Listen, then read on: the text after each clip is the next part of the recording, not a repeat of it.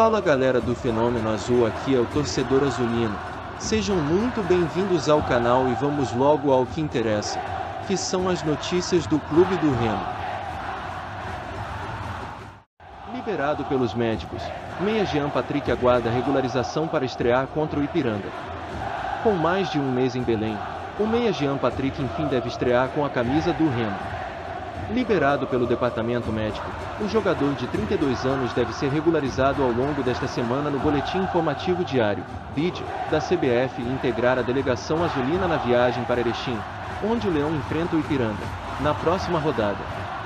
Desde que chegou ao Remo, no início de abril, Jean Patrick estava sob os cuidados da equipe médica do NASP, em tratamento de uma lesão na região do pubis. O jogador, que deverá ser o novo camisa 10 azulino, está no clube por empréstimo junto ao CRB até o final do ano. Com a liberação do DM e a provável publicação do contrato na CBF, Jean Patrick vai brigar por uma vaga no meio-campo com Marcial e Eric Flores no time titular, enquanto o meio albano segue em tratamento de uma lesão grau 2. O Leão volta a campo na segunda-feira, 23 de maio.